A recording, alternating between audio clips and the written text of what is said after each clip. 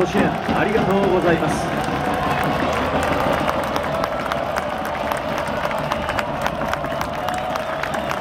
現在ピッチ上ではウォーミングアップが行われております。ボールの移動にはお気をつけいただきますようお願いします。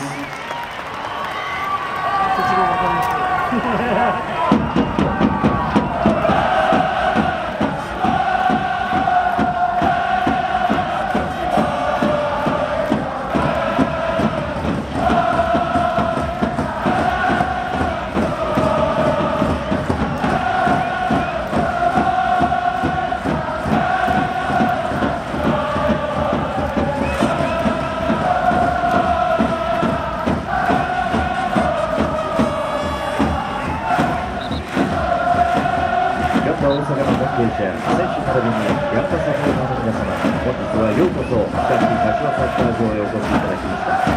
柏レースでは皆様を心より歓迎いたします。本日の試合が両チームサポーターの素晴らしい応援と、選手たちのフェアなプレーで最高の盛り上がりを見せてくれることを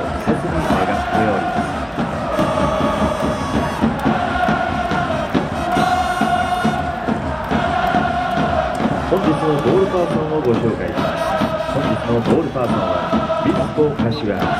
99FC です